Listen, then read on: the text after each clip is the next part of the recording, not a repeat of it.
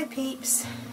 Okay, so the only thing, I'm loving this. It's kind of just grown all by itself. It kind of, I started with an idea and it kind of took itself on a journey. I didn't know how it was going to turn out, but I love it. I love the colours. These neon pigments from Resin-8 are unbelievable. They're fabulous. Quite a lot of times you buy these pigments and they don't actually turn out as vibrant as you think or in the bottle, but these definitely, absolutely definitely. Um, they say opaque, um, and I only put a touch in, so they could they'd be even more vibrant if I put more in. But I wanted a slightly translucent look, but I wasn't sure if I was going to be able to achieve it.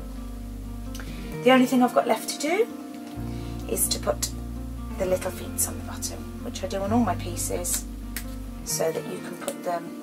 I've got glitter everywhere, so that you can put them on your table without, because sometimes resin can be quite sharp and I would not want anybody's surfaces scratched or anything.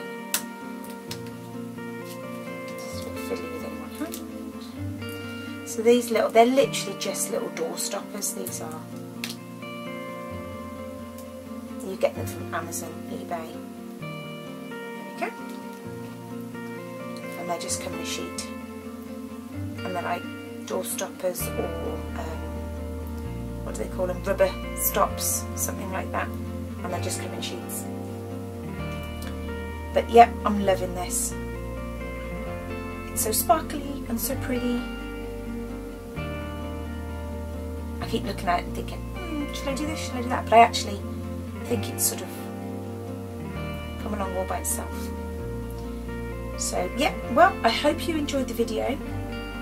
If you did, please like and subscribe and we'll have some more fun together, learn some more things, play with some more resin, arts and crafts. Please take care, stay safe, and I'll see you soon. Bye bye!